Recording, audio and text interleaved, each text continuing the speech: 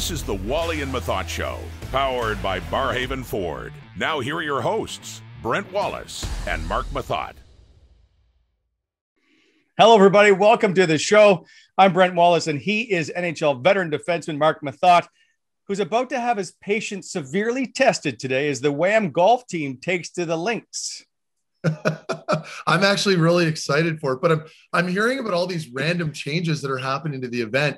As far as apparently now we're carding. Um, Simmer messaged me at like 5 a.m. this morning, uh, obviously from the radio station or from home, getting up early for work. But he talked about handicaps and how he's a 20 apparently, and I'm a 12. Uh, and and and he's like, he wanted me to ask you, Wally, what you were. So right now, I've got some concerns. Okay, so first of all, people don't know. Uh, uh, we, originally, uh, Sean Simpson uh, from TSN 1200 asked us, along with Ian Mendes, to go out and have a round of golf, without, which I thought was a nice leisurely walk. Just get to hang out, talk some stuff. Now it's a team event. I don't even know if it's best ball. It's like the Ryder Cup.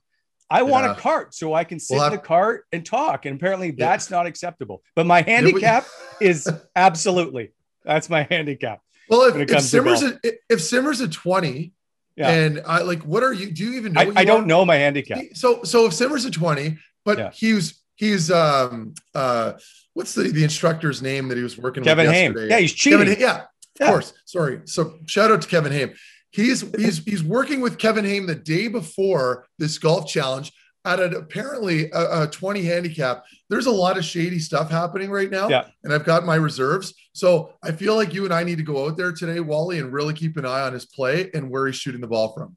Well, I'll be in the woods if you're looking for me. So right, the uh, you I, I I can't stress enough how important your game is today. But I don't have you played yet? No, I haven't swung my sticks since like last August. Yeah. So I mean, I'm going to be brutal, but again, we'll see. And and the 12 is what's going to hurt me. But more importantly, I just want to have fun. Uh, well, apparently that's not available today. Competitiveness is out, or sorry, the fun whole fun idea is out the window as soon as the first yep. hole starts. So we'll see. I get I get pretty competitive out there. I, but I do need you because I hate to lose. So if we do yeah, lose, yeah. we're playing another 18 holes. I'm just telling you right now. Okay. Oof, all right. Uh, this, by the way, is episode 29 of the Wally Methot Show, powered by Barrhaven Ford. By the way, Barrhaven Ford Going ahead, check them out. They have the Roush inspired F 150s, Mustangs, and Rangers. They are custom built to the way you like to have them done. They are beautiful vehicles. The BFC custom builds at Barrhaven Ford. Also, up until Saturday night closing, they have a used car and a demo clear out sale going on right now. So stop in and see them.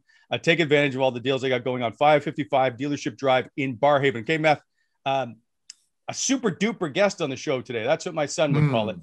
Uh, we have world champion Connor Brown stopping by for a chat uh, in the Whitewater chat room. By the way, uh, the truck delivery for Whitewater showed up at my house yesterday. It's like seeing Santa's sleigh pull up. It is a beautiful site. They unload some stuff. Uh, by the way, take advantage of the 15% off coupon wallymethot.com at shop, sorry, at shopwhitewater.ca. And uh, wait, there's more. I feel like a salesman here.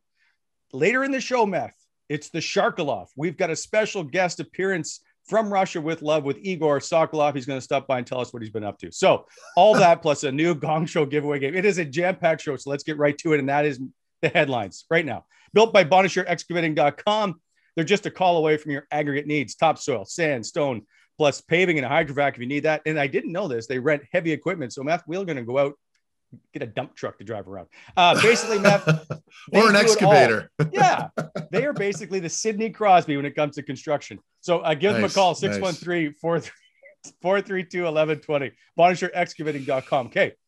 Headline number one cap yeah. issues. Sens say no to Buffalo regarding Jack Capuano. Number two, point taken. Brayden Point leading the Lightning to a game three win. Seeing red. Jeff Petry and the Habs look to take a series lead, tearing a strip off. Ross Stripling apologizes to teammate. I, I want to know if that would have been a big deal to show up a teammate in the NHL, Meth. And then finally, the buddy system. There's a couple things I want to talk about, but one, which player did you play with that you would take as a buddy on the amazing race? But we'll get to all that in one sec. Let's go right mm. now. Cap issues. So the Buffalo Sabres inquire about Jack Capuano, the associate head coach of the Ottawa Senators. Sens say no. Jack's not happy. I don't think he should be either. I, I, I think he has a right to be unhappy. I'll get to that in a sec. Your thoughts on Buffalo saying no? Yeah, and I may not be quite as hard as you are. Uh, I looked at it over a little bit, and, and this is new to me. Like I, I always knew that teams would reach out and that there was sort of an unwritten rule that you would allow your coaches to go at least entertain the offer because other otherwise it can create some like animosity, right? Among yes. the group. And I feel like that to me right now. So before I continue on that point, I think we can all agree that all teams are, for the most part, relatively different. Ian Mendes actually wrote a really nice piece on this.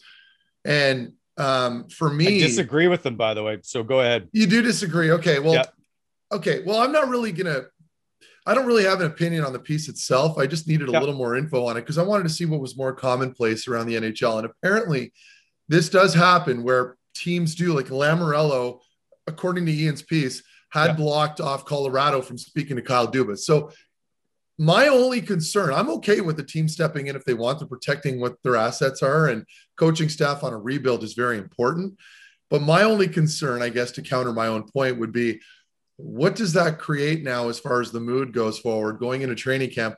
But first of all, between the coaching staff, what's going on through Capuano's mind, knowing that he was blocked that opportunity? And then furthermore, how does DJ feel about it all? So it creates a little bit of a weird situation, of course. And to me, that's the only concern I have. Other than that, I'm okay with it if it's team policy. That's a huge concern. It's okay. So when they hired DJ Smith, who was in Toronto, and asked to speak to him, it's okay, right? So it's okay yeah. to speak out of both sides of their mouths, apparently.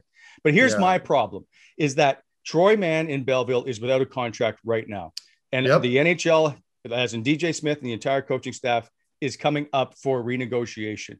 DJ Smith and that coaching staff does not want to go into this season without a contract under their belt because if they struggle to get off to a bad start or they right. don't make the playoffs, they're out the door and then they're looking for work. So, and that includes Jack Capuano, who now has a chance to get back into being an NHL head coach. This, by the way, just because we keep saying, oh, it's policy, and we know of a few examples that have been set because they say, oh, they tried to talk to him and it didn't happen. There are countless other incidents where the assistant coach gets allowed to speak before he gets hired by another team. This is common practice. It happens in the NFL, happens in the CFL, and in baseball, and well, in and- basketball. I don't yeah. understand why they why are you blocking somebody if you already have your head coach? You can find assistant coaches. They're not like scarce. You can find quality NHL assistant coaches all the time. I'm yeah. I, am so one DJ Smith. So if they if they say no to Jack Capuano going somewhere, does that mean if DJ struggles, Jack, you're going to be the head coach? Well, now, how does how does DJ Smith feel?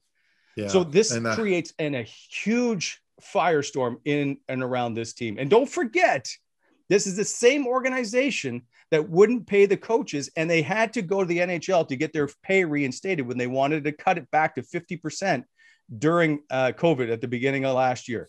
So there is you can say there's no animosity because it hasn't come out. I don't think the Ottawa Senator coaching staff is very thrilled with the way they've been treated. Fair enough. I will. I don't need to elaborate any further. I think you uh, you said a lot there, Wally, and good. and, and, and no, but but really really good points. And again, for me, just like you mentioned, it's concern as far as where they're mentally at going into camp. So is DJ really offended? Now it just it's just I feel like you just have to allow the coach to go and do it because otherwise you're creating a shitstorm. It's as simple as that. Yeah. I, I you know anyway. Uh, yeah. All right. Well, it leads perfectly into our next headline. Point taken. Uh, Brayden Point basically scoring while being knocked down last night helps the Tampa Bay Lightning to a 2 1 win and now a 2 1 series lead. It seems to be right now that either, by the way, I'll, I'll, get into Brayden Point in a sec, but Tampa has got its stars playing and they're scoring yeah. when need be, which is what you need in the playoffs. And so I'm concerned because they're my Islanders and I'm not going to, I'm not leaving this ship here, but I need them to step up. I thought they played a pretty good game. They just couldn't they generate uh, anything past Vasilevskiy.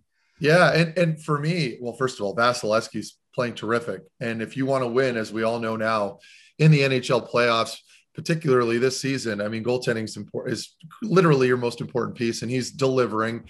First star of the game, played fantastic. But more importantly for me, I like the adjustment that Tampa made. They they just showed us that they can play any way you want, yeah. and they've reinforced it with the way they played in their last game. In that they can defend now. We know they can defend. It was never really in question, right? But they're known for their high-powered offense.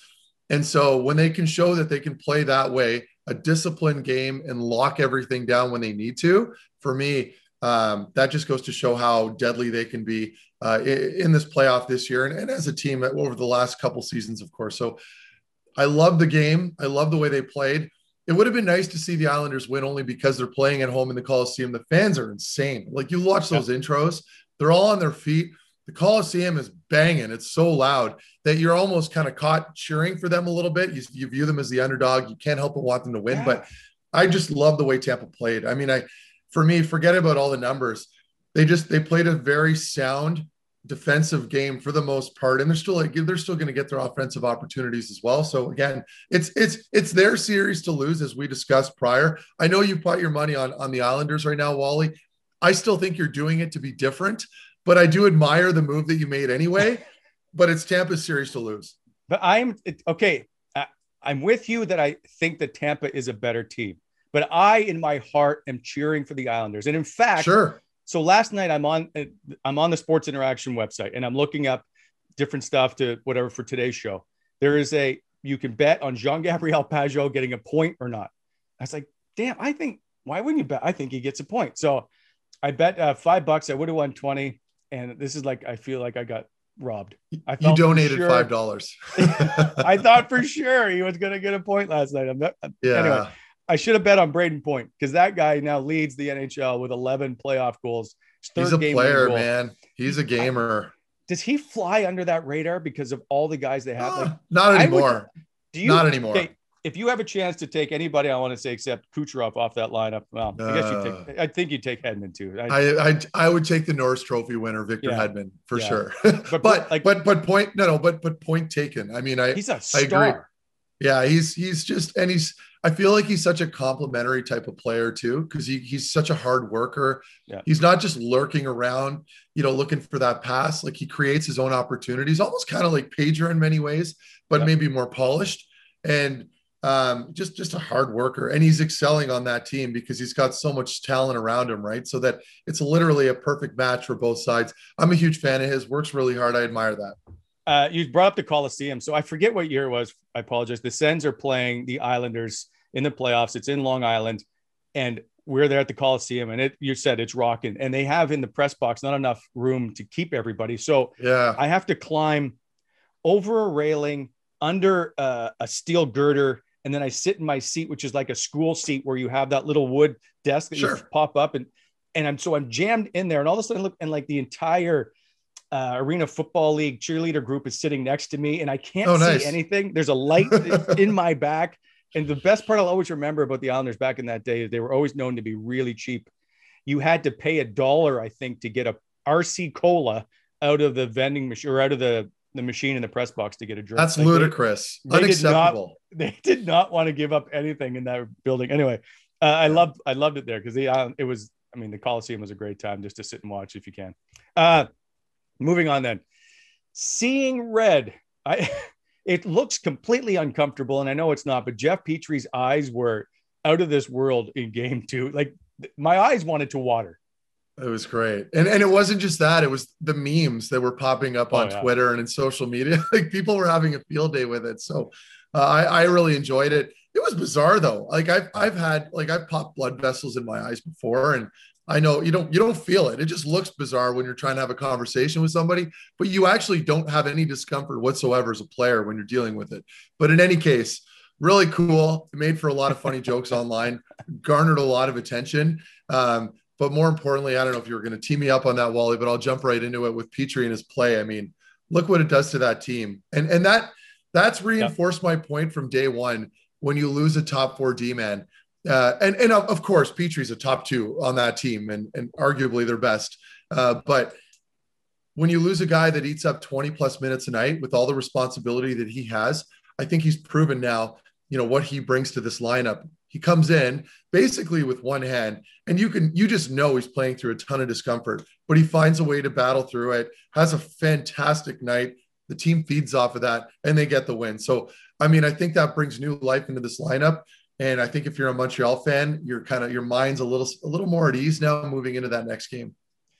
Okay, I'll throw this out there. Is Vegas on its heels now because of the game too, or is it just back to another game? Three? No, like I don't. It's just nothing. I, I, think it's I think it's fair game at this point. You know, I, I really do. And but but to Montreal's credit, they get to go back into the Bell Center now. They go back to Montreal. They're going to be reinvigorated, playing in their own building. Uh, it's on the weekend, so the city's going to be buzzing. I mean, Montreal is going to be absolutely buzzing. The patios are going to be busy. Uh, all our all our favorite fans out there, including that gentleman that I keep posting on Twitter, will be out there talking about the game. But but as a player, you feed off of that. I know this. You know, even with Ottawa, knowing that you've got your you're in your home city. We're in the playoffs. You've got the the red mile on Elgin Street, if you will, and all the fans are, are ecstatic about the hockey. There's a buzz around the city. You feed off of the, that energy for sure. I, I don't know, Wally. Did they announce that they were going to let more people into the building. Like, is there another perhaps, thousand or something? Yeah, so. something like that. Which, which, which kind of sucks. I think to a degree. I mean, it's it's great. You're going to take what you can get.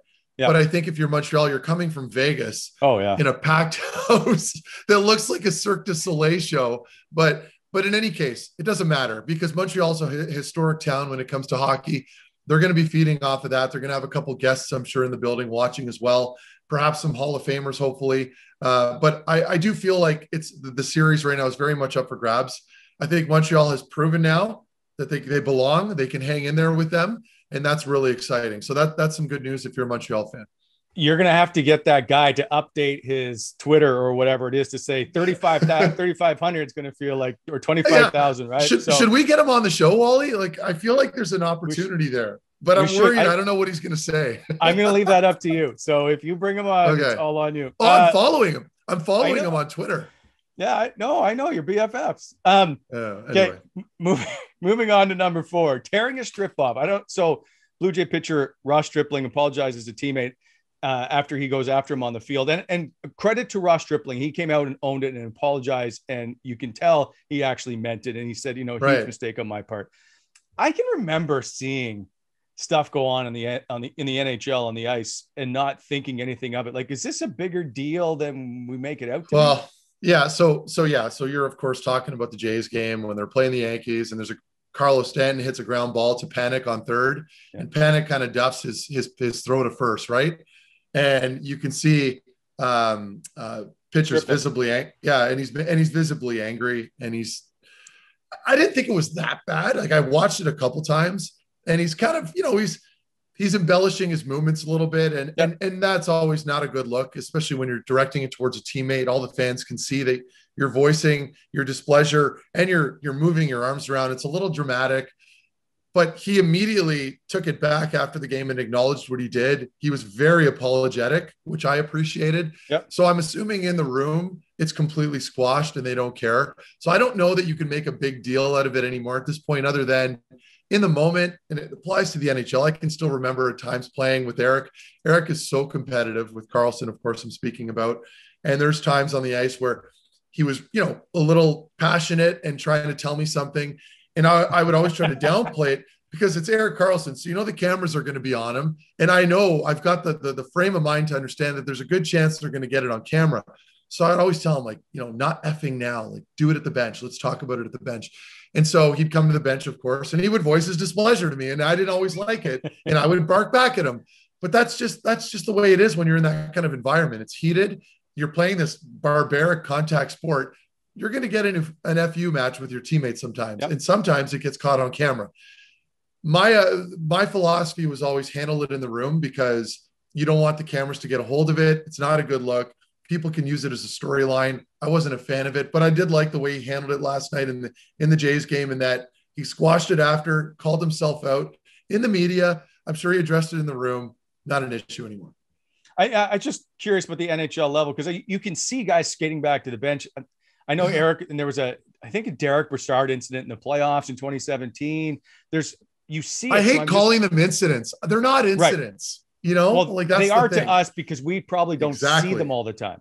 Exactly. Yeah, we're, we're just having an argument. It's like having an argument with your coworker at work, except we're allowed to throw f bombs and hit each other. So, so, you know, it's a little different. But when you grow up in that environment, you're so used to it, right? So if I ever get in an argument with somebody off the ice, I'm I'm rarely phased by it because I'm so used to working in that very hostile environment where a lot more is acceptable.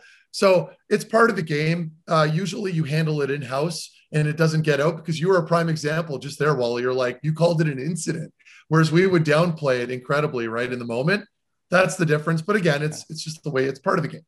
I, I can I can attest to arguing with you is not a whole lot of fun because it just rolls. No, I mean, but Yeah. but but we get over it, right? Like Oh, absolutely, you yeah. You handle it and then you move forward. We don't hold it against each other 24 hours later.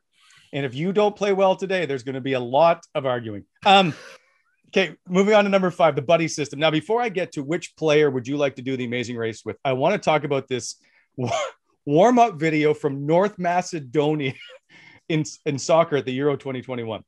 It is, well, I don't know how to explain it, but basically, People have to go, people will have to people will have to pause this really quickly and Google it. But it, all you have to type is North Macedonia warm up.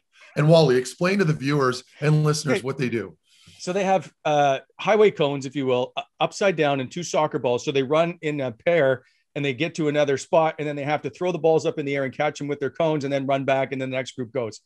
It is a relay race in a warm up for one of the biggest soccer events in the world. I couldn't, Yeah. I can't fathom this. They look like a bunch of clowns. And listen, I'm all about the off ice stuff or the off the off pitch stuff or anything that kind of garners a little of t- attention. Like when you watch rugby and you see them perform the haka out of New Zealand or whatever, like those sort of traditional stuff. That's that I can get behind because it's cool.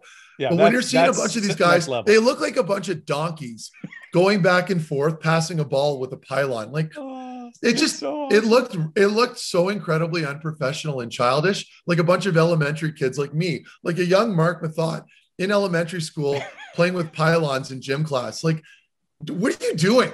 Anyway you got to look it up it's pretty ridiculous looking i don't know what they're doing i can understand it if it's traditional for them but even then they look like kids yeah. This ha- this has like you and I. I think we should do this video. I- I'll get back to you on this. Um, no thank and you. finally, okay, so I was sitting there thinking the other about we're going out golfing, like what a great team we are, and how Sure. we would get along for everything. So, and then I was thinking we should do the amazing race together. then i feel like i get along better with craig on the golf course but anyway continue you know what I'm I bring passion, fire, and energy. I think that's and some entertainment. So those are a lot of buzzwords man I've been working on that line for a while now. So yeah i can tell is is um which teammate that you played with uh, would you take on the amazing race as your partner? Wow, teammate. Okay, well, my initial instinct would be to bring my brother only because we're in sync with a lot of stuff. We seem to get along really well. We're like best buds. To this day, I'm very lucky to have a great younger brother. But Yeah. if I had to pick a player, Yeah. it would be probably Derek Brassard, only because I'm really like I love Erik too. Erik's Erik's a good dude, but I, I feel like he'd yell at me a lot Yeah. I didn't do something according to the way he wanted it done. Yeah. Um, so I'd have to go with Brass because he and I have that comfort level. We play together a ton in Columbus, even in Syracuse and in Ottawa. We go way back. He was in my wedding party. So I feel like I could really lay into him if I had to with an argument and he would be able to get over it. So I'll say, I'll say Brass. Okay. Are either one of you any good with directions? Because I don't get the sense that you are.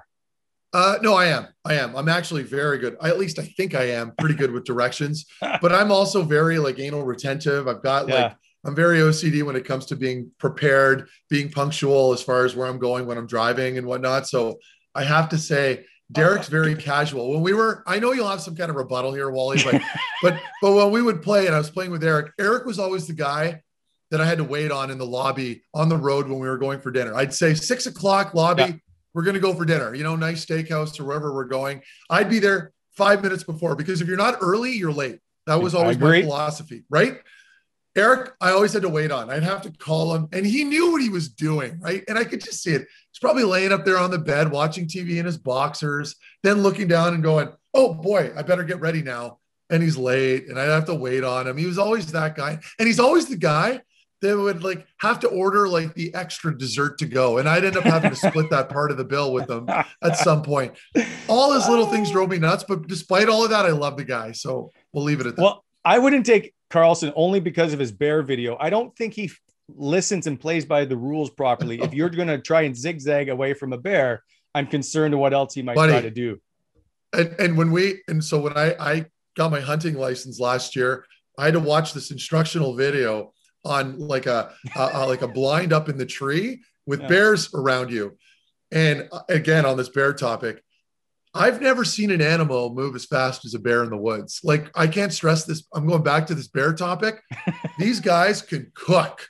So if you think you can zigzag away from a bear in the woods, I'm sorry, but these these sons of guns have four legs and they grow up in this environment. They yeah. move like nothing I've ever seen. So again, Erik has no clue when it comes to wildlife and what they're capable of in their own domain in the wilderness. Uh, that's fair. I, I I will say if, if you were going to ask me who I take, and you probably weren't. Um, my amazing race partner, I was thinking of the other day. Would I take Mendes? He's pretty smart. I don't think he's yeah, very athletic. So, so then yeah, but like, he's got frosted tips now. Yeah. I feel like that's. I feel like at that point they're like reflective at nighttime, and it would literally distract you, and it would lose that that camouflage that you're looking for away from all the uh, you know the nighttime attacks like like coyotes. okay. All right, the Amazing Race isn't a hunting expedition. Anyway, um, yeah, fair enough. Yeah. The, then I thought uh, Terry Marcotte, but he's he's too old and not very agile. So then, oh, you can't say that about Terry. Oh, oh he is a legend. So I don't know. I, I decided. Yeah, yeah. Uh, then Hayley Wickenheiser, she's a doctor. She's athletic. She's way smarter than anybody I probably know. So I thought, well, that's a good call. But I ultimately went with Kyle Bukauskas, Bucky. He's very okay. athletic. He's good looking. He can charm anybody. So I was just yeah, but take him. Kyle's tough guy. Because his he's got like if his hair isn't perfect all the yeah. time, I feel like uh, that would really rattle him mentally, and that would affect him and his performance in the wilderness good, in the woods. Good, I would go with Craig. Craig, the, our producer Craig plays Warzone. He's tactical. He's a good communicator. He would be my next pick after Brass, I think. Okay, just so we're clear, the Amazing Race is done in an urban environment in major cities. It is not a hunting show. I'm thinking of that show, Man Tracker. You know, there's remember oh, Man Tracker, yes. where that yeah. you got that you got that that guy that on guy. the horse, and you got like yes. a head start with a partner. I like. I think Shane Doan actually did the show. Yes, um, uh, and I, I believe, and I believe he won. He actually managed, and I still remember watching him hightailing it up and down these mountains. Like if you're in pretty good shape, I think you can get away from it. Anyway, that shows he's really good at what he does. Obviously, that shows crazy. Um, yeah, he's good. Yeah. All right. Uh, I don't. We're gonna leave we're, it. We're way off. Tracker. We're way off base. Here. yeah. I, anyway, uh, I don't know what else to say other than those are the headlines built by Bonnechere Excavating, uh, helping to shape the Ottawa Valley. Excavating.com. Okay, time for a quick break. When we come back, Connor Brown interview in the Whitewater chat room, brought to you by WhitewaterBeer.ca. Use the 15% off coupon code. Also, don't forget they do delivery. Shop Whitewater.ca. Uh. You are watching the Wally Methot Show, powered by Barrhaven Ford. Barrhaven Ford celebrating their one year anniversary this month, and they want to celebrate with you, giving away $2,000 in incentives as a gratitude gift on their anniversary special. We'll be right back after this.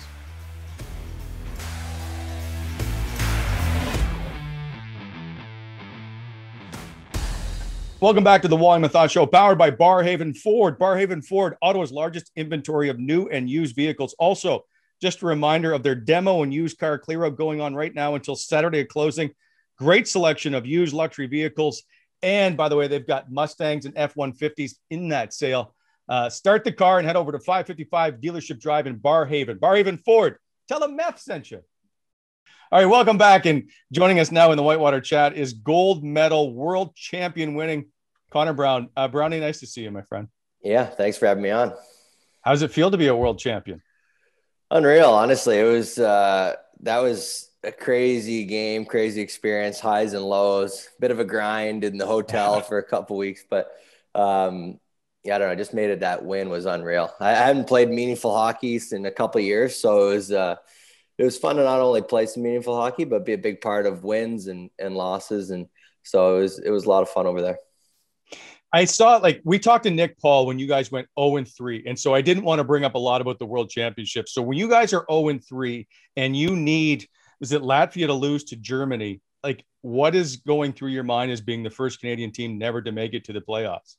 Yeah, it was like at one point it was almost like we were like embarrassed. Like we were like we wanted to like we just knew that we were we were just like oh, just puck wouldn't go in. We were yeah. playing three first three games. We had, we had one goal. Our whole like we just couldn't score. We were out playing teams. We just couldn't score. And then um, we started getting some bounces, and they started going in for us. And uh, we knew we had like you know we had a, a, team that could compete uh, against any of the teams in the tournament, and um, we just weren't getting the bounces at the beginning of the tourney there. So it was nice for it to turn around.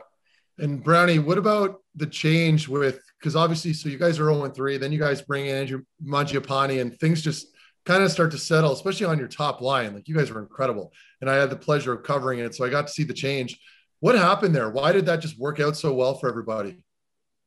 Yeah, that was massive. I think. Um, I think playing with Mange, I felt like we kind of uh, thought the same a little bit out there. Like uh, wanted to spread the zone out, wanted to keep possession. Um, yeah. You know, uh, not as not exactly north south because I mean north south over there the ice is so big you just can't you don't really want to give it away. It's t- a little harder to get it get it back other than North America yeah. where you can chip it in and check it back easier. Um, but you know we started just kind of playing possession, uh, holding on to pucks, spreading the zone, and and then we just started getting good looks, good looks, and obviously he's a great finisher too, so that helped a lot. Yeah, nice. So uh, is Gerard Gallant talking to you guys much through this 0 and 3? And I know because you guys didn't have any exhibition games, and I think you I don't even know how many practices you had, maybe three. Is yeah. there was there much chat about how you guys have started?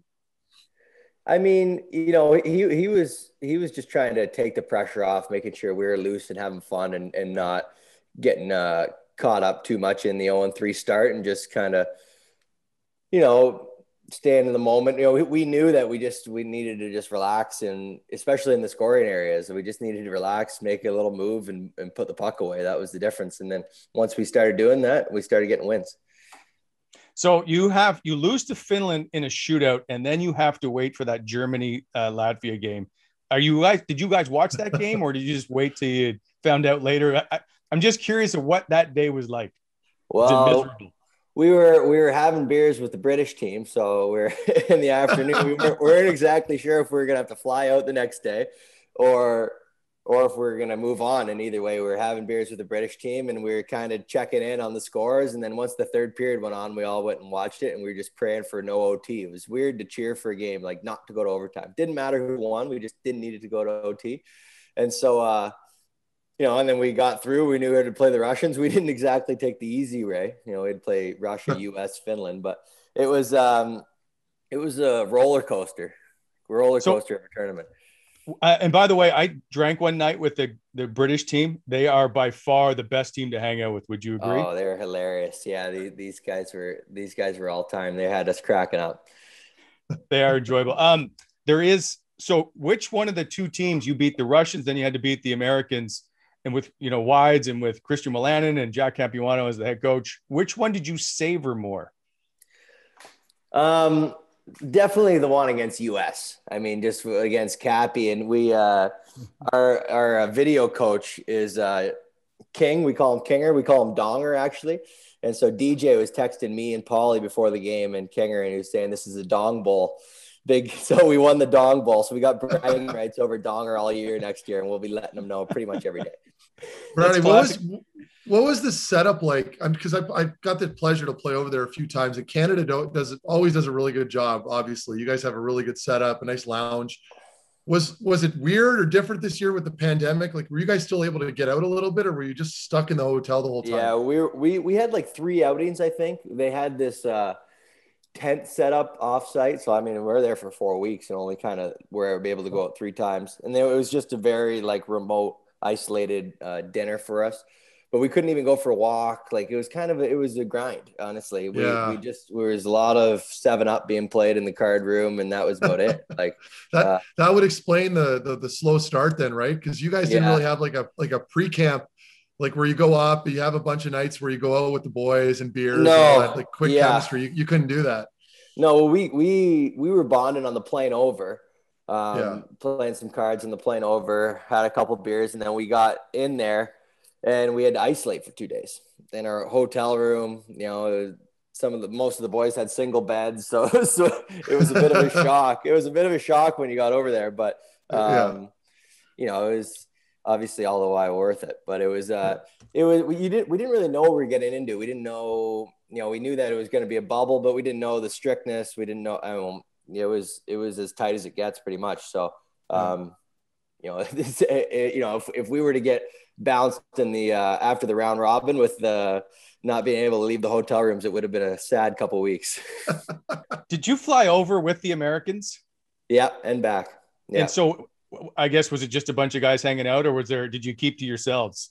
Well, we kind of just kept like we were just talking to the Canadians, and then they were kind of hanging. We kind of we were playing cards on our side, and they were had a little card game going, and a lot of guys just sleeping. But um, we, I mean, a lot of guys know each other because they played with this Right. guy or that guy. But uh, so it wasn't too hostile.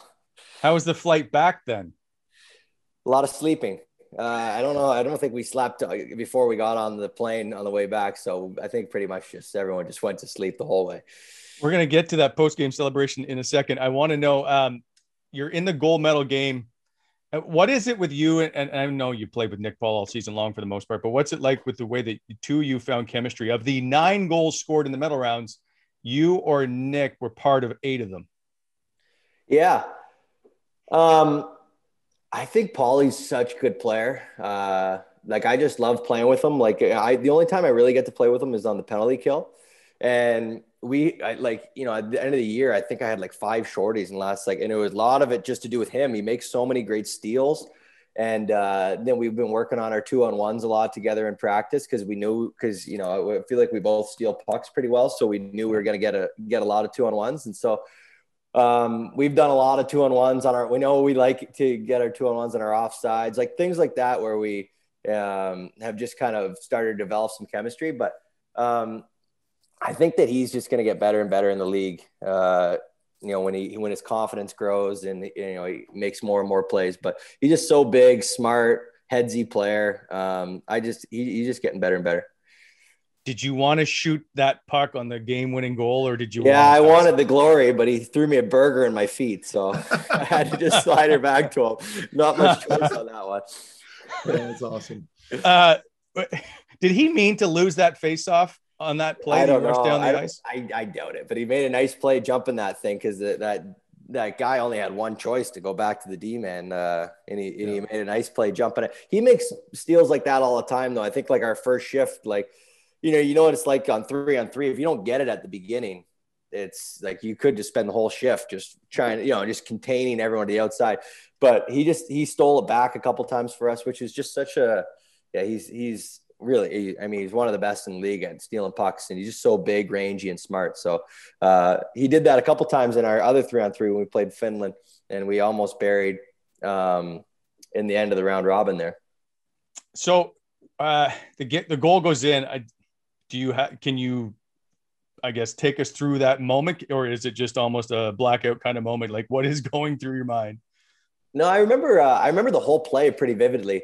I remember I wanted him to give me the puck uh, at the at our own blue line, and then he held on to it, and then the guy. So I remember the whole thing, and I just when I when it went to my feet and back across that little that little half second felt like ten seconds. I remember, and then after that, I blacked out. I don't remember really remember much about the celly other than jumping up, jumping up and down, and then Paulie spin moving me, uh, trying to get away. He just wanted all the glory, bringing off the bench.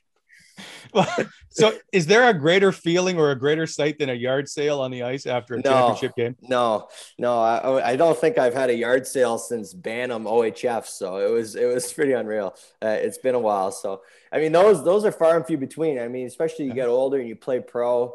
So many teams in the league. Everyone's so competitive. It's um to be able to win a championship is is just there's nothing like it. It's so fun. That's your and that's your first time representing Canada. And Matt and I have covered, and we've gone and he's played at World Championships, and I've covered them. It is a phenomenal tournament that doesn't obviously get the attention because of the playoffs over in North America. Your first experience, obviously, you're a world champion, but what's your first experience like playing in that environment?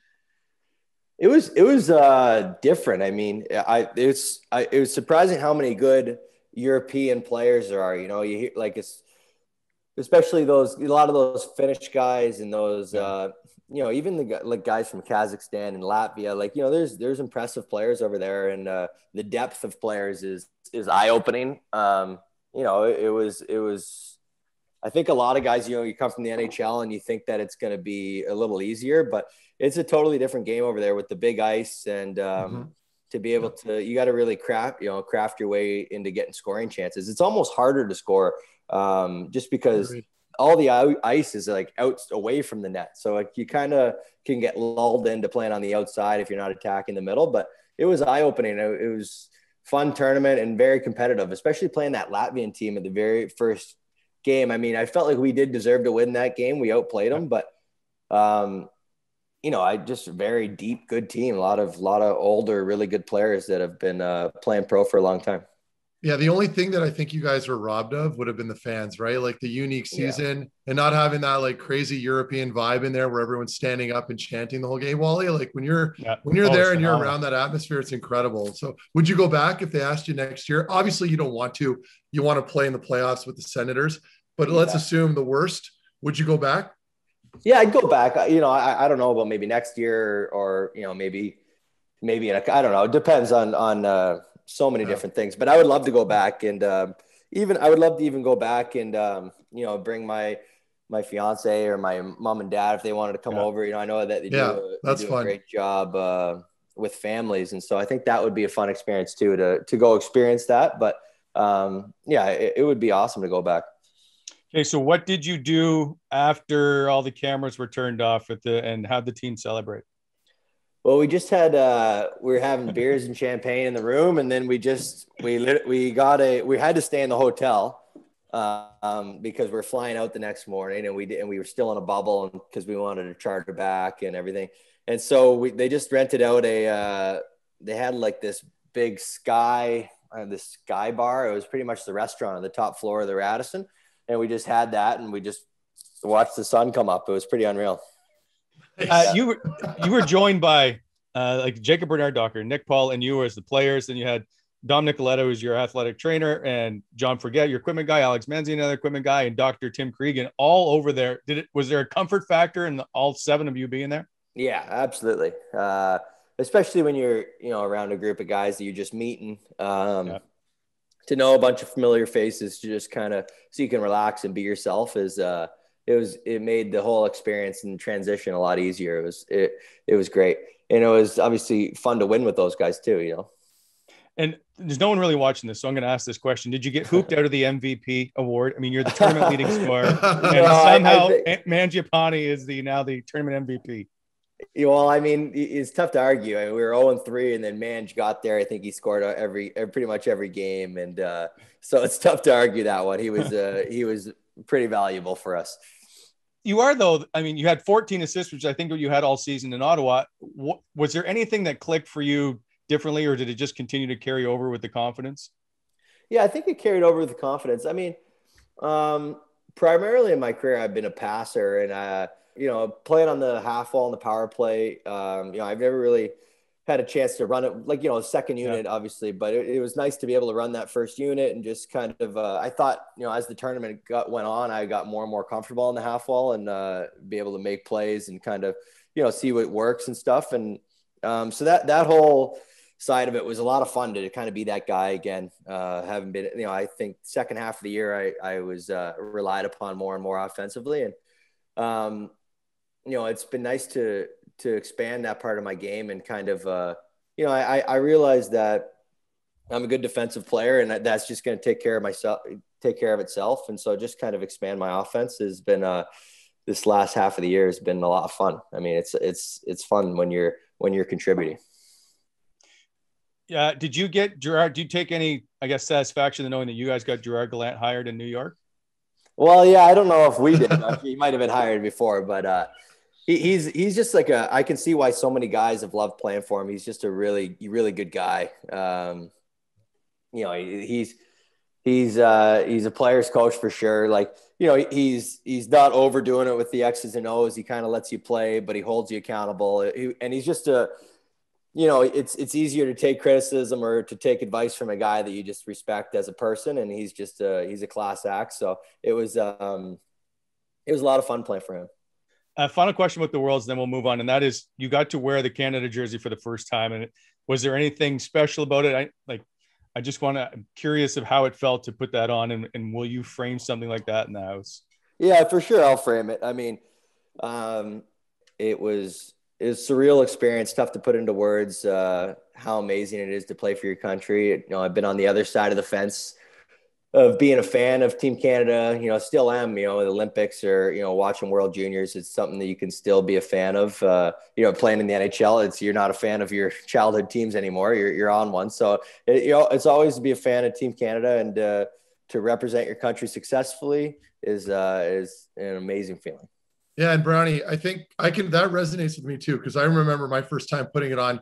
It's the sense of pride you get, right? Like when you put that sweater on, and then you're going on the ice for warmups, and you know the other team is thinking, "Oh, like here's Canada, like you're the big bad team in the tournament." For me, at least, that was the that was the best part. Like just the pride of having that sweater on.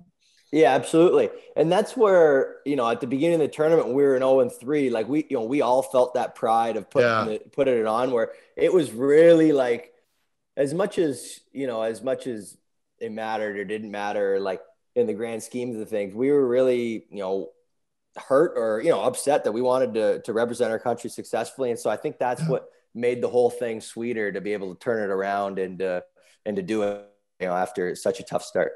Yeah. Did you know uh, into the medal round that you guys now had a chance? Could you feel it building that you know what we got past the Russians? There's a chance here we can do something. Yeah, I mean, we we knew the Russians were going to be tough, but you know, especially that first four or five minutes of that Russian game, we were getting dummied and they were just buzzing, and we are like, oh boy.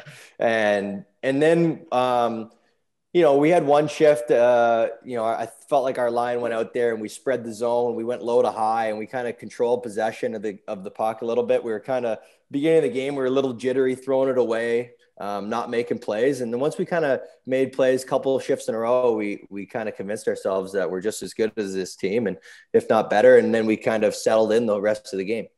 Yeah, and and and the one thing that people don't realize that are watching, unlike Canada, where you guys are all purely volunteers. Of course, the Russian players are too, but another thing that people don't always know is that these guys have more compensation. Like, do you guys oh, ever yeah. talk about that? Where we all know the Russians are going to get paid a yeah. hundred grand each for winning, and they all get a Mercedes. 100%. Like that's that's something that matters, and it, it never seems to gain any traction. No, I mean, well, that's you know they they they're D corps. I mean, um, you know, it was an NHL D corps. It was a good NHL yeah. D corps. You know, Zadorov, Zub, Provorov. I mean, they were they they had a really good team, and uh, you know, Tarasenko and Orlov and net. Yeah, Orlov. Yeah, like they had a they had a great team, and yeah. they're and they wanted to win. You could tell how much it meant to them, like when they, when we beat yeah.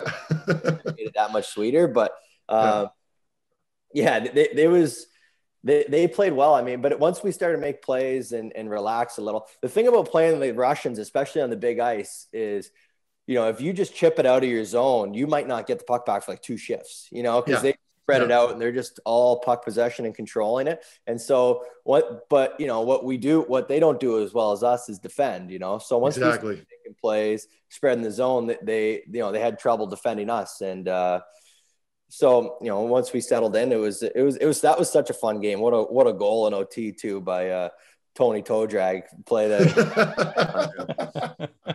yeah. Uh, did Artem Zub yell at you a lot in Russian, or did he even make eye contact with you? No, he's like the nicest, softest spoken guy. He just said, "Hey, Brownie, good game." He just, he just, he, and he's such a good player. I, I, was trying to avoid him, trying to not get on the ice against him. He, I, he's, he really annoying to play against. Really, like he garnered so much attention this year, mostly because nobody knew anything about him, and he just came in and played steady. Like, so if you're his teammate, what is Artem Zub like, not only on the ice but off it? Well, Meth knows like how how important it is to just have a guy that's steady. Like he yeah. he he defends so well. He moves the puck like really well. I mean, uh, he's just like a really solid player. And then just a, like a, he doesn't speak much English, so it's like you know you you don't really have in depth conversations with him, but you can just tell he's a very good guy, very team first. Uh, you know, with the way he plays and his attitude, and um, what a find by us! I, like we're lucky to have him. He's a he's a great guy. Do you play practical jokes on him then? not really, because we're not sure how he's going to react. So he could just completely snap. What is what does he do? What does he do on the plane? Like when you guys are traveling, uh, does he play cards with you guys, oh or does he just God. sit there and watch Russian movies? He's hilarious. We get on the plane. I swear he doesn't even undo the top button of his suit or take his suit jacket off like the guys are all gearing down. Like we got we got five hours to van, and he's it's four hours in. He's got a suit jacket on and his tie done up. he's just I don't know. He's just watching his Russian shows, but yeah, yeah. Beauty. There they do that. We played with Radulov. In, I played with Radulov in Dallas. Same thing.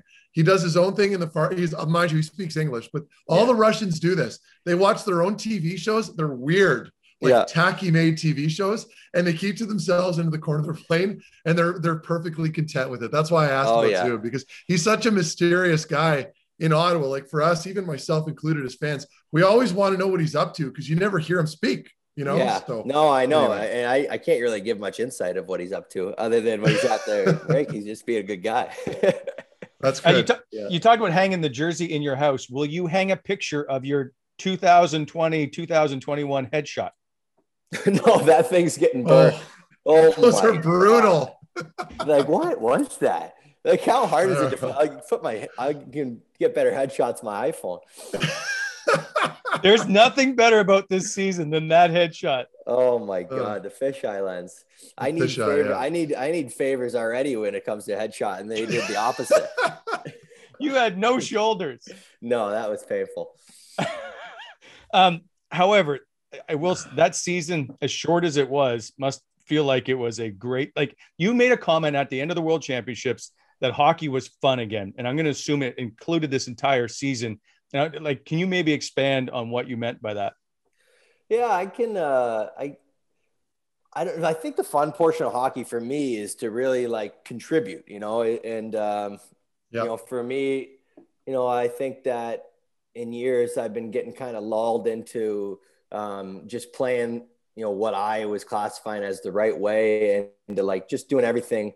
You know, as far as system and structure, and I, you know, and what's been kind of getting beat down in my game is just the instincts kind of been getting sucked out of my game. And so just this year, just trusting my instincts, you know, believing that I'm going to make the right play with the puck and that, you know, not always worrying about where, where or when I turn it over. And once you kind of let go of that, you know, you just don't turn the puck over. You know, I, I, I'm, you know, I've been in the league long enough where I know where and when to make a play. And so just to kind of let your instincts take over is, uh, something what I've I've really worked on and the biggest difference between my game this year and years past is um, you know just just getting out of my head a little bit and just kind of staying in the moment, letting playing with instincts and uh, just playing, you know, and making it fun.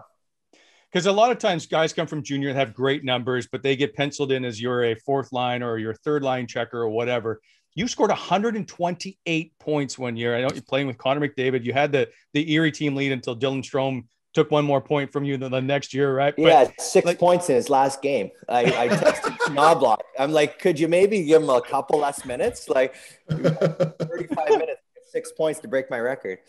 I, I- I wasn't going to bring that. up. Well, I guess I wasn't going to bring that up. Is um, is it like? Do you need to remind yourself of how good you are as a goal scorer and as a scorer to try and, I guess, let those instincts take over? Yeah, yeah. I mean, it's it's hard to kind of find that confidence in yourself, and you know, I've been lucky with, um, you know, I felt like DJ has seen me play at, at that level um, when we were slapping the Jennies around when I was in the O, and so you know, so I, I think he it's so nice to have him. He really believes in my offensive side of things, and um, you know, it, and it's tough for him to really have full belief until he sees me do it. And you know, once this year I started to do it uh, night in, night out, and be consistent. Kind of, uh, you know, you do, you do develop a leash, and um, you know the ability to make a mistake, and uh, you know, because you're doing lots of good things, and so. Um, you know, I think uh, starting to try to earn that leash and to try to play offensively, and I just know myself and my game, and uh, you know, I, I'm not. It's I'm not going to be a you know, I'm not going to be making a play at all costs at the far blue line type player. And, and, you know, that's, that comes with maturity and being around and understanding what, you know, when and where to make a play. And I, that's, you know, just having the faith that, you know, I know when and where to make a play and to just trust your instincts completely is, uh, has been the biggest difference for me in, in carrying it over from, uh, you know, years past where I feel like I was overthinking things at time, you know? Uh, when you are on an eight game goal scoring streak, is it like a pitcher in baseball where nobody talks to you? No, no, it was the, it was the opposite. Tierney was bringing it up at every single sec, every single possible moment. and then I was like, I had no choice. Like when you're, you know, when all the boys are razzing you about how many games, like you got to just go with it. You can't just pretend like it's not happening, you know? So I was just almost just, just diving right into it, you know, uh, fake arrogance about it. So it was, it was a lot of fun. That, that goal streak. I mean, it was, I mean, there was a bunch of the goals in there that were just going in for me. And If, to get eight in a row, you need to get a little lucky, but it was, uh, that would that was kind of good to help develop the confidence. I was going to ask you, like, I watched. There are goals. There's one you're in the top of the slot, and I don't even know if you even hit the puck, and it goes in somehow. And I'm like, how many goals of those eight did you Oh. during that eight game goal streak did you actually think should gone in? I don't know. I haven't. Like- I could. Be, I mean, It- it's tough. It's wild. Like you had, like, I want to say there was three of them. Like in a normal season, they would not have gone in, and they Yeah. whatever it was, it just seemed to go in for you. Yeah, that eighth one, like you know, I shot the puck from the top of the. It was just me and Hellebuyck. I shot the puck from the top of the top of the circles, and it kind of hit his glove and just went past him. Yes. And I'm just, you know, I'm like, I, I'm, Yeah. I, I don't exactly have a bomb. I'm not exactly scoring on Hellebuyck without a screen from range very often. So that's how you know that things were just kind of turning. They're going my way for a bit. So the fake, Con- the fake arrogant Connor Brown skates back to the bench and goes, "Absolutely, I scored this, right?" Yeah, yeah, yeah, yeah. Exactly. What do you expect? uh, if you, uh, oh, I meant to. Who was your first roommate on the road when you played for the Leafs? Like when you were a rookie, who'd you have to It was with? Matthews. Me and Matthews were roomies. Yeah. Wow. So, I, I, what's he like as a roommate? He was good. I mean, uh, he was so young at the time. It was just his first year in the league, but we, we were goofing off together. It, it, it was a lot of fun. Yeah, he was a good roommate. Is, is he a snorer or any of that? No, I, I wish I had some some dirt for you, but I don't. He was uh, honestly, I barely remember it. Squeaky clean. Yeah, He's paying. He's paying Brownie off right yeah, now. yeah, yeah, yeah. I'm still on the Unbelievable. payroll. Yeah. Yeah. so you talked about not being able to cheer for your boy or your uh, childhood team, which was the Leafs, and you grew up as a Toronto Maple Leaf. You got to play for them. How tough is it to forget that alliance or that allegiance once you get dealt to Ottawa? Um, it's not too tough. I mean, um, you know, you just get so in, indulged and involved in your own team and kind of, uh, you know, what we're trying to accomplish and getting better and better that you almost, uh, you, you know, you forget about that. And, Yeah. um, so it's not that hard to be honest. Did you have a jersey growing up though? Yeah, I think I did. Yeah, I did for sure. I had Mats. Sundin. Yeah, I think I might have had a Darcy Tucker one. of course. Yeah. See, that's why I- I'm like- because me and Tucker play so similar.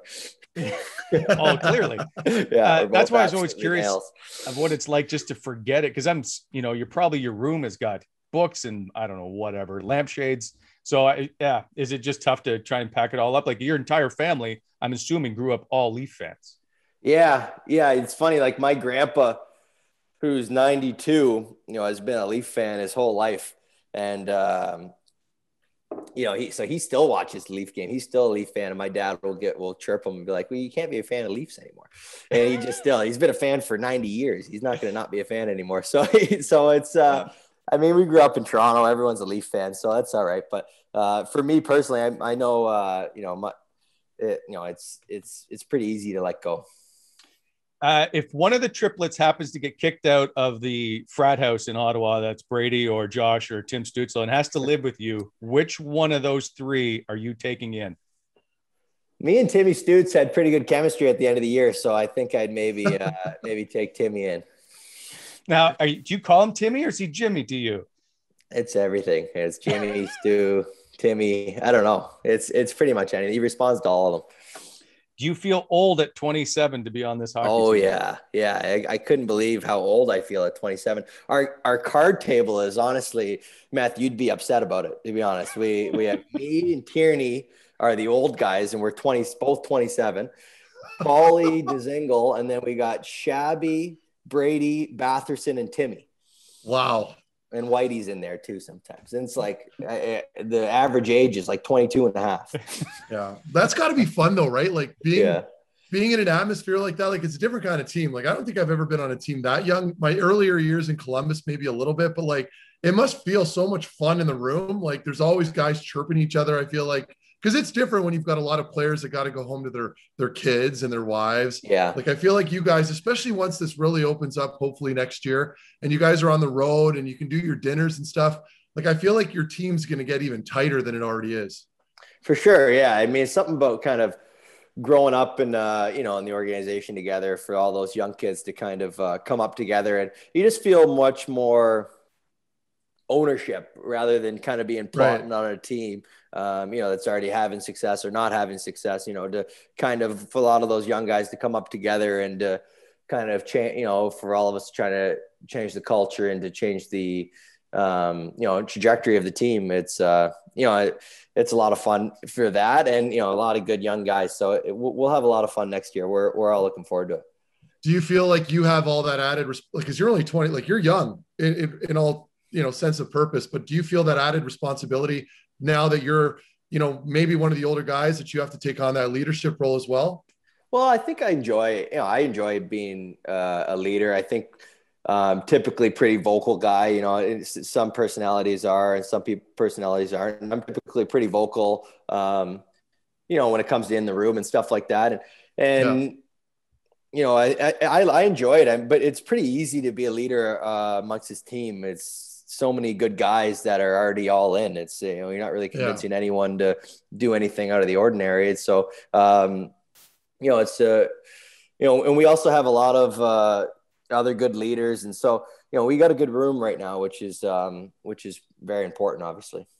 Okay, I, I'm going to ask the question. You were the captain of the Erie Otters. You've worn a letter at the World Championships and in Ottawa. Should you be the captain of the Ottawa Senators? you're, you're going to ask him that? I don't think so. Obviously, it would be an honor, but I think, uh, you know, I think uh, one of the one of these one of these guys coming up will uh, you know wear the C and wear it for a long time. Does it? And at the end of the day, does it really matter? And I we've had this conversation a lot. Like that you doesn't. will put a letter on a jersey. Usually, it's perhaps the best player on the team, and it doesn't necessarily mean it translates into the room. When it comes to this group, I think you could put the C on probably three guys, and it wouldn't matter. It would always have the same yeah. leadership group. No, I don't think it matters. You know, I think it's um, you know, I, I, you know, as long as you know whoever gets to see just um, you know stays, just keeps leading the way they have been leading. You know, I, I mean, uh, we have such a good group, and um, you know, we just got everyone's just you know, you just can't let it change you too much, and because we have a, a, solid leadership group, you know, we don't really need um, any one guy to to really step up above and beyond. You know, we just kind of a lot of like I said, we already have such a great room where um, you know, guys hold each other accountable. Guys uh, are really competitive and want to win and want to practice hard, want to do things right. So, um, you know, I, I, don't think it really matters. Okay, so you're. I got a hard one for you then. So if you're on the road, times are tough because we all know throughout a long 82 game year, you know, season, things are going to go up and down. Let's say you're on the road. It's early. It's Colorado. You should have a day off, but the coach is pissed off and he wants to run a practice who's going to stand up for the team then and go in there and tell DJ, listen, man, we need a break? That's a good question. I don't know. I mean, we'll see. I don't mean to put you that, on the spot. At, at that gotta... point, it's whoever gets the cheddar. We're gonna because no yeah. one want to do that. We'll just send him in. yeah, it doesn't sound like the most fun thing to do, but uh, fair enough. Yeah, fair so enough. whoever whoever gets to see, I think we'll just. Uh, there you go. Yeah, that we'll sounds like everybody would vote for Colin White to go in yeah, yeah, that would be. Actually, Imagine we would, we would probably bag skate the whole practice. we, we oh, that's yeah, great. Yeah, white okay. If the travel starts to open up and you can go somewhere and now celebrate your world championship or just to spend time with the fiance, where are you going to travel to? Well, I don't know. Um, you know, we're getting married in August, and so I think we're hoping to go on some sort of bachelor, uh, well, bachelor party before, but some sort of honeymoon. Um, mm. So I don't know. We're trying to sort that all out. We got to just wait to see what the government says about travel and everything. Um, hmm. Get our shots, and then and we'll go from there. Were you are you having a local wedding, or are you hoping to go away to get married? Um, up in Muskoka. Okay, yeah, so local. Yeah, yes, yes, yes. Very nice. Semi-local. Yep. Well, well, good luck with that. We wish you all the best in, in that one, yeah. and Meth, Meth will send you a gift. I promise. Yeah, um, thank you.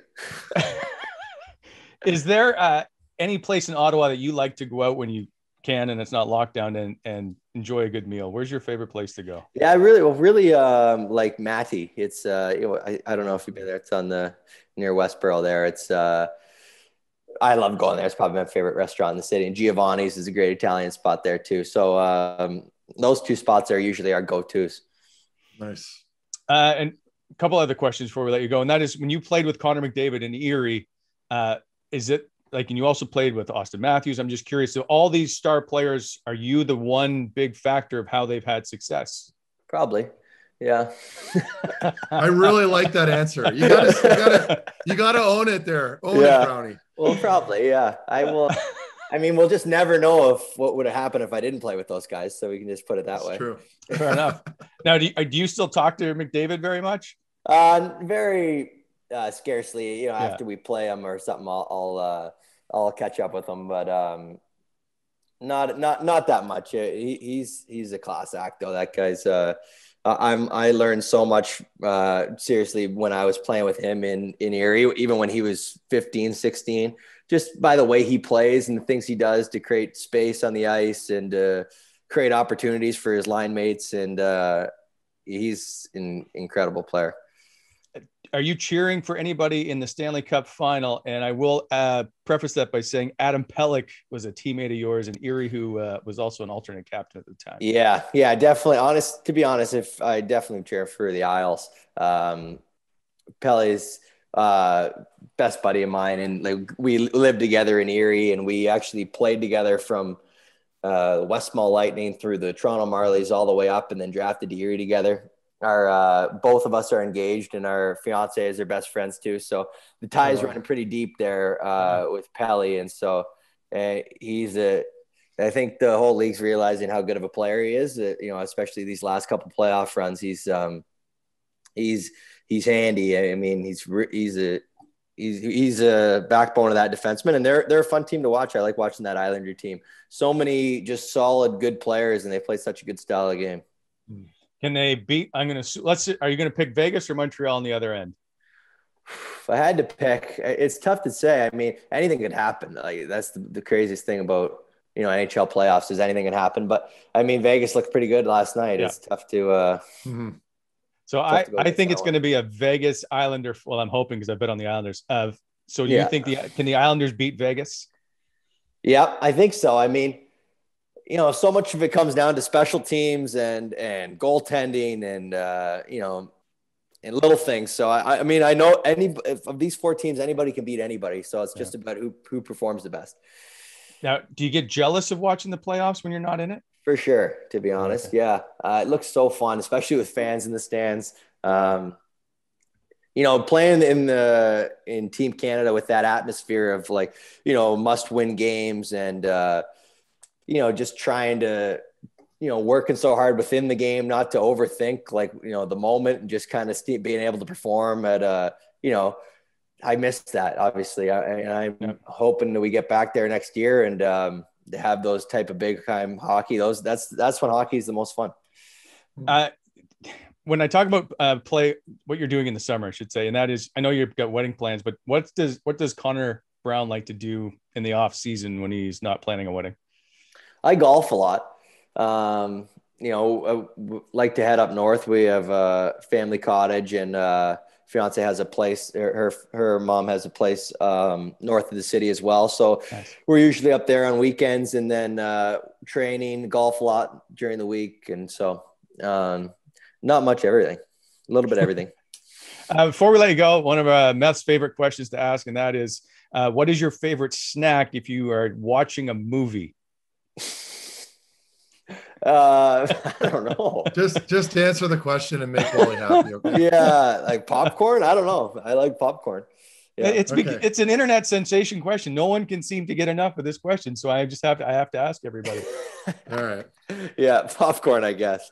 that's, that's fair. Uh, Connor, we appreciate your time as always. We, you know, you've always been very good to us. So we wish you all the best at the wedding in August, and uh, can't wait to see you back on the ice here in, in this, I guess, in the fall whenever the season resumes. All right, fellas, take care. Thanks, buddy. Brownie.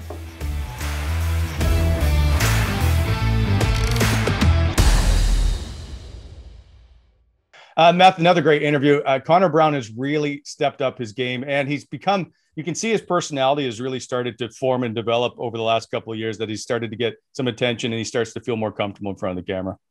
Yeah, he looks. He, and I mean, and it, it that correlates directly to the World Championships. I mean, it wasn't just a, a one-trick pony, if you will, during the Ottawa Senators year that he had here in Ottawa. Uh, he carried that same consistent, creative play into the World Championships and was one of the leaders on that team. So I feel like Connor's taken a huge step forward here. A lot of really good things and good takeaways, especially from the interview, uh, that we can look forward to into next year. I would clearly bet on him. And speaking of betting, Time for On the Points, brought to you by sportsinteraction.com slash Wally and Methot. Sports Interaction is Canada's odds makers. Uh, log on to sportsinteraction.com slash Wally Methot today. Get in on the action, must be 19 years or older. K Meth, this is where we start to say who's going to win. So let's go with Vegas, Montreal, game three. Uh, this switches back to Montreal. I still feel like Vegas is the favorite, but boy, oh boy, the Montreal Canadiens uh, look a little tough. Yeah, and this is one of those picks where I feel like you could just flip a coin at this point and and and and fig- but I mean if you look at the numbers uh, right now and and just the home ice advantage and the confidence that Montreal's probably gained off that last game and with Petry back in the lineup I'd like to see Montreal win this one. And and, and and and I still think I still think Vegas is the heavy favorite. I'm acknowledging that. But I can see this being a low scoring game. I can see Montreal really imposing their will on them at home. They're invigorated. They're going to be well rested. They'll have slept in their own beds.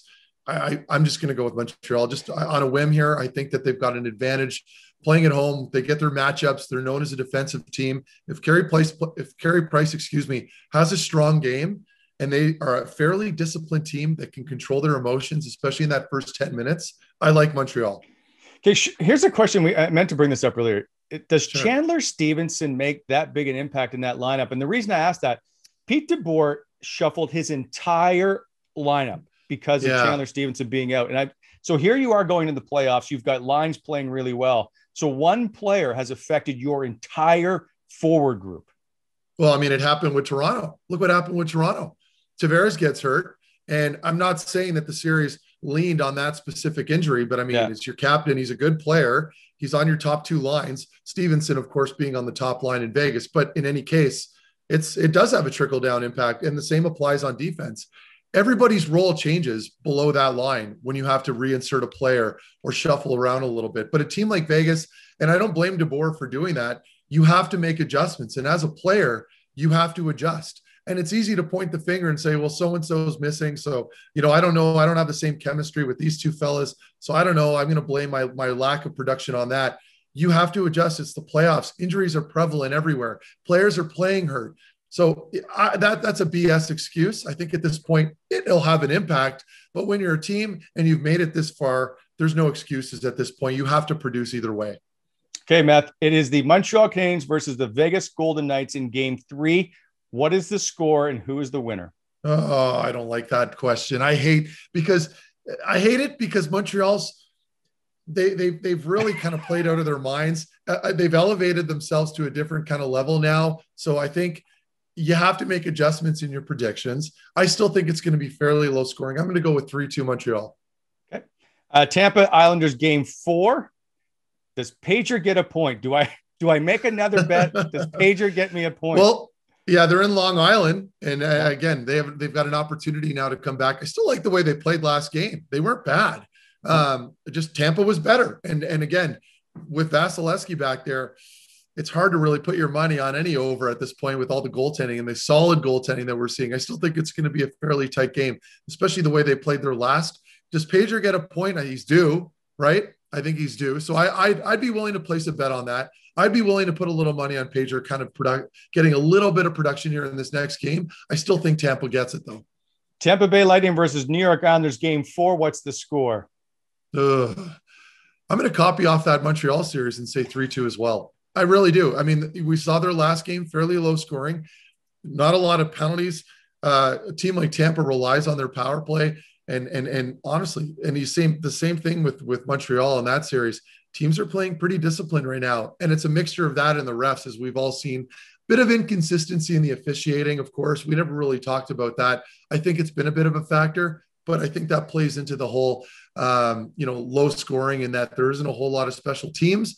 I'm concerned now with all the um, with all the criticism towards the NHL officiating. Are we going to see a bump up in these calls now? Are they going to start calling some stuff? That's also a possibility that we have to take into factor.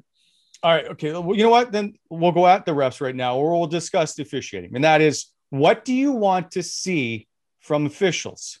Consistency. If you're going to call one soft play, call the other. That's it. You know, I'm not okay, going to name any spe- any specific place. For me at this point, there's been such an inconsistency because, as we all know, refs like to put away their whistles in the postseason, right? Regular season, they'll call every little play. I'd like to see that brought into the postseason. I'm an old school guy. Yeah. I do like I like the rough stuff being let go a little bit, but I'm referring to more of the trippings and the interference calls. If you're going to call one play, call the other. The rough stuff, let it go. The pushing and shoving, let it go. That's fine. No one's getting hurt. Let it go. But when it comes to the infractions, as far as interference calls, tripping, uh, you know, slashes, maybe even call those, be firm on it, and try to be consistent. So the problem you have is you get different officials all the time, and I'm not even sure you have the same official yeah. in the same series ever again. So, would you like to see the same four officials ref each game of that series? No, no. I think the standard of where it's at right now, and I do remember but we can criticize our. Doesn't that give you the want. consistency? No, yeah, yeah. Okay, maybe it does. Maybe it doesn't. I, I I don't know the answer to that, but I do know that we have. When I say we, I say the NHL has the best officiating in the world, in my opinion, at least. They have it's literally, and we've spoken on this before, it's it's one of the hardest jobs of any official. So we got to give them props. It is consistent and it's easy in today's world with a million different cam- camera angles to criticize uh, their job uh, because we have we can break everything down frame to frame and it's easy to do that when you can go back and check out your replay right but but in real time with the way the speed is now very hard. So we have to understand that as well. The human element is always going to be there in the game, and we have to respect it. But I do think that they have been botching some calls with respect to the officiating, and that can improve. And I'm sure that's an ever-changing thing that has been going on now every day with you know with the uh, the head of the officials in the league having these discussions in meetings. Let's just hope it improves because I don't want it to affect the outcome of these next few games. But isn't this always the way? Like, can you remember uh, any Stanley Cup playoff where people weren't complaining about the officiating. It just no, seems like that's just the way it is. It is. It is the way it is because it's a sport and it's it's it's hard to There's be incredibly consistent. It, the, the human element will always be there. And actually, it, it, to be honest with you, when I'm watching, that almost makes it more exciting. Having that human element, it allows the game to flow better. There's less whistles, and uh, you know, it, it just makes everything more entertaining. Here we are talking about it, but I also don't want it to dictate the outcome of a series. You want the better team to win. So again, a little more consistency on some of those soft calls I'd like to see. I don't expect the games to be flawless, but there's certainly some adjustments that need to be made. So do you think it's worse than it's been? No, I don't. I just think right now more than ever, there's a little more emphasis on it because we have the, the technology to be able to follow every small play, more cameras involved. It makes life a little more uh, challenging for the refs. Well, you can't bet on the officiating, but you can go to sportsinteraction.com and bet on a whole bunch of other different things. And that includes Pageau will get a point in game four. I'm sure of it. Those are the picks. Now go make yours at sportsinteraction.com slash Wally and Methot. Sports Interaction providing competitive odds on all sports. Okay, Meth, here it is. This is it. We have talked about Egor Sokolov and how great he has been throughout uh, since he's been on our show. He's he's been the number one talked about guest I think that we've had. So we reached out to Sharkalov over in Russia to see what was going on. So did some chatting. He said, I'll, I'll take care of you. I'll let you know what's going on. So he sent in a video. Um, we needed a title. So we came up from Russia with love presented by nice. Faces Magazine. Here is Egor Sokolov.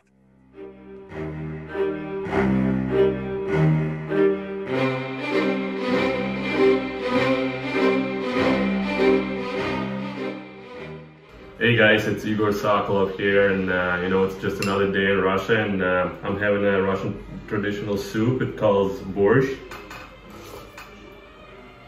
It's really good, and I you know I really missing that when I'm over in Canada. Yeah, I hope you all guys having a great time off, and you know enjoying summer and uh, having a great weather. You know, lots of tanning and stuff, and you know I'm just enjoying time with my family and uh, spend as much time as I can because I haven't been home in two years and uh, you know I just really missed spending time with them and uh, obviously my friends. And I got back to training and uh, start going on the ice, going at the gym and uh, you know trying to prepare myself for a new season, uh, for a new challenge and you know just already looking forward to get back into it. And uh, you know just here in Russia I've been you know chilling and resting and uh, having a, you know massages and stuff like that and uh, just trying to recover and get prepared myself for the next season. And uh, you know just you know every day casually my dad makes me that soup and I really really love it and uh, missing it obviously and uh, you know just you know, enjoy it as much as I can before I go back to Canada because I'm gonna miss it, and hopefully my dad would be able to come over next season and uh, you know come to my house and uh, make me some, and you know I'm just definitely gonna enjoy that, and um, so yeah, just uh, I I hope everyone's staying safe, everyone's staying healthy. It looks like uh, things turning well right now, and uh, we're going positive way, and uh, hopefully we'll get back to normal as soon as possible, and you know. I can't wait to see everyone in the stands and uh, you know just spend time with the fans in the community and stuff. But for now, until like July 5th ish, I'm here in Russia trying to spend as much time with, with my parents and you know enjoy enjoy time with my bodies as well and uh, you know trying to get back to work already and been, it's been two weeks and uh, you know so yeah stay safe everyone enjoy your time off and uh, you know we will talk soon.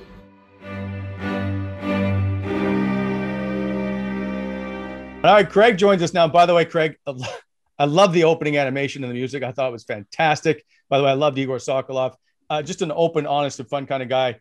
Uh, we'll try to continue to get him on. Uh, we just got to figure out the data package between here and Russia because I'm sure it's going to go through the roof. Uh, that is uh, from Russia with Love, presented by Faces Magazine, facesmag.ca. All kinds of new articles. The newest issue coming out soon looks like Nick Paul, by the way, world champion, is going to be in the next issue. Uh, Craig, well done on the Sokolov video, my friend. Hey, uh, that was one of those where you're like, you gave me the video and you're like, can we do anything with this? I was like, yeah, put, put it up. so yeah, we kind of just built a little fun thing there. So I don't know. Hopefully we get some more. I imagine that guy's probably up to some fun stuff in, in Russia. So if we can get a little peek in at that over the summer, I think that'd be fine. I think everyone would like that. So Agreed. yeah, I think it's a good idea. He's cool. Uh, Connor Brown was a great interview. And I think he might be one of my favorites that's come on because he really, I felt he opened up uh, the headshot stuff is phenomenal, and I and I really yeah. hope that we can continue to use that perhaps in every show going forward. Poor guy, poor guy, and his got his his probably got the most attention out of everybody because he scored so much. So like yeah. they were constantly yeah. using his headshot and stuff, and it's like, oh, poor guy.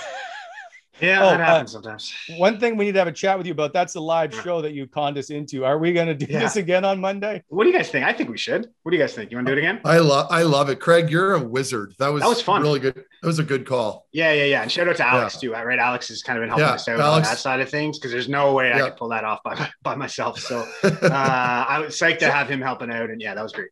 So I got a text. I got three texts, but I have my phone off when we do the show, and I look at it later. My son is blowing up my phone saying he can't hear me yeah. because the first I don't know how many minutes or whatever is uh, muted, and I had no idea.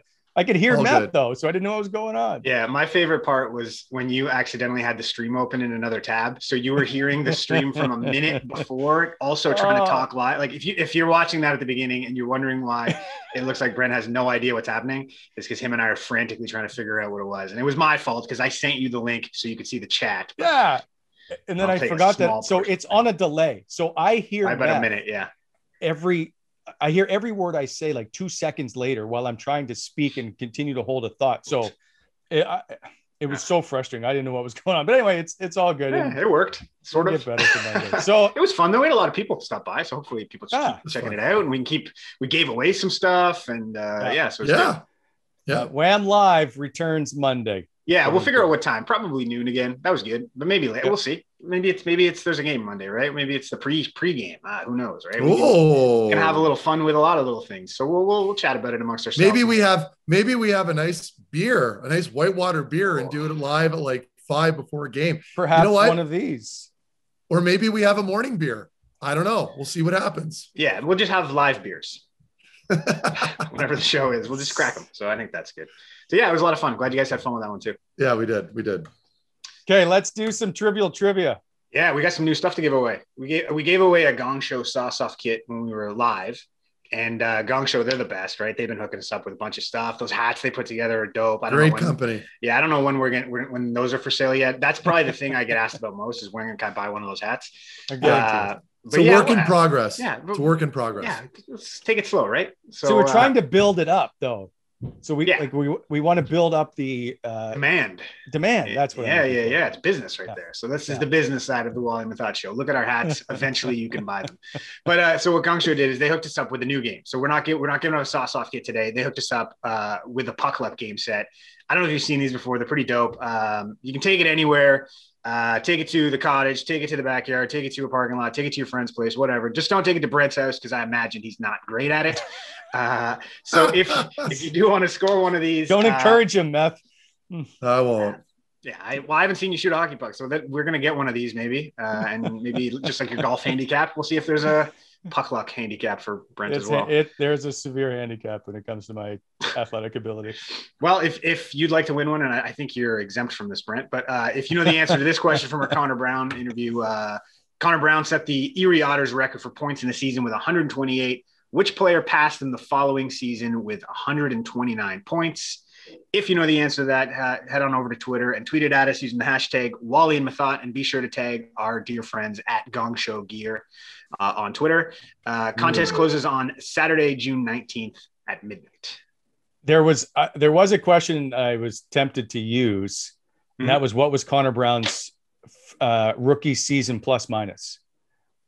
It was, but then I was like, he's going to yell at me because it was minus seventy two. Oh, His that in- rookie year was minus Yeah, and I forgot to ask this question. Wow. I'm so mad. in the NHL? There's No, way- in I Erie. gonna say, No, no, no. I was gonna say. I think I Yeah, heard that it- one. His rookie year in Erie was minus that's not very seventy two. That's- Robbie those was his head coach. Those are Didn't Troy make it. Man numbers right there. Yeah. Yeah. All right. Uh, by the way, if you want to order any Wally Meth- Methot t-shirts or mugs, uh, go to Wally Meth- shop wallymethot.com. Uh, please like and subscribe to our YouTube channel and also catch us on all the major podcasting apps. Meth and I are out of here. Craig, uh, you can enjoy a little drink by the pool. Uh, we will see you live on Monday. You're watching the Wally Methot Show, powered by Barrhaven Ford. Let's uh, drive on out of here.